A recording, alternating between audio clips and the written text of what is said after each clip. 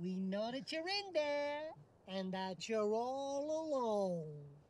Yeah, come on, kid, open up.